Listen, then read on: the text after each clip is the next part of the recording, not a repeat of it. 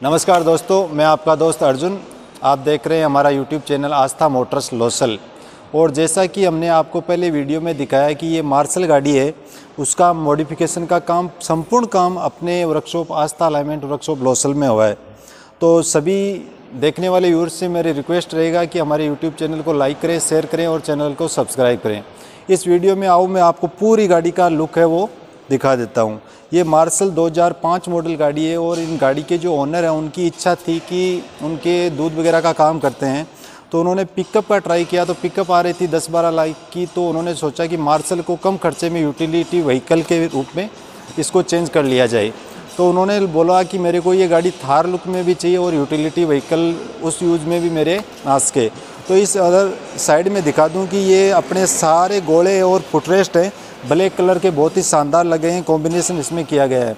और कस्टमर की इच्छा के अनुसार इसमें थार सीआरडी की यहाँ पे बेजिंग लगाई गई है। इसमें ये जो साइड ग्लास है रियर व्यू देखने के लिए, ये बोलेरो एस एल का लगाया गया है। अब अपन इसमें पीछे की तरफ़ बात कर ले तो ये डाला है। अपन इसमें आराम से कुछ भी सामान है, वो आराम से डाल के ले जा सकते हैं। इस प्रकार आपको ये वीडियो अच्छा लग रहा है मेरे ये आपसे आशा है और आप ज़रूर इस वीडियो को देखते हुए शेयर भी कर रहे हैं।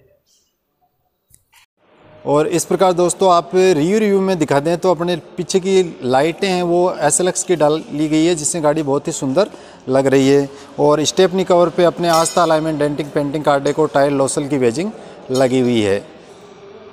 इस प्रकार आपने वीडियो में देखा कि गाड़ी ये मार्शल 2005 मॉडल है, वो कंप्लीट तैयार हो चुकी है। और गाड़ी यदि आपको अच्छी लगी हो तो हमारे यूट्यूब चैनल को लाइक करें शेयर करें और ज़्यादा से ज़्यादा चैनल को सब्सक्राइब करें। बहुत बहुत धन्यवाद।